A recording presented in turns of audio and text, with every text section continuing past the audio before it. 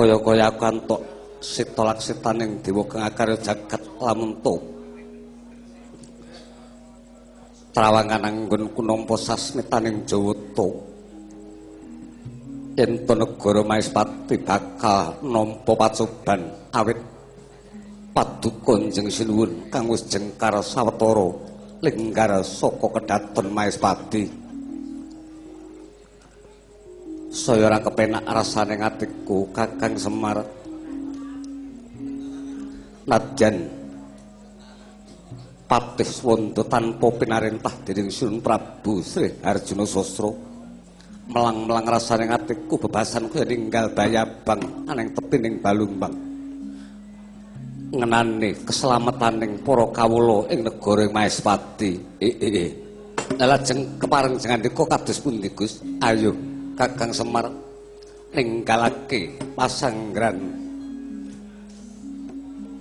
kene tumuju marang negara Maespati nyumurupi kepiye mungguh kahanan lan keselamataning negara Maespati. Saya ora kepenak rasane atiku Kakang. Ayo ninggalake papan kene coba ndak jangkungi saka kaduan kepiye mungguh swasana negara Maespati. Eh, menawi mekaten monggo kula dherekaken ayo tole garing Petruk Bagong. Aja dadoh laku mung karo bendaramu. mulat muladyan arjunismu kamanungsanira kaserban tingkai mungsuniran padha kadang toya ayo toya anawang anak ya ya